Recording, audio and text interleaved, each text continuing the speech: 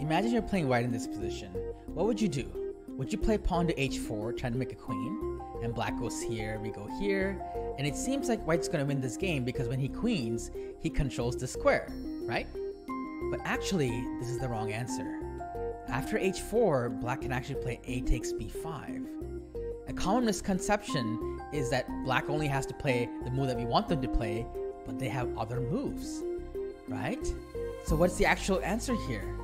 Is it to play pawn takes a6? No, black's not going to take. They instead play b5, and white actually loses after the race. So let me introduce you to the concept of prophylaxis. When we calculate, we should also think what they want, not just what we want.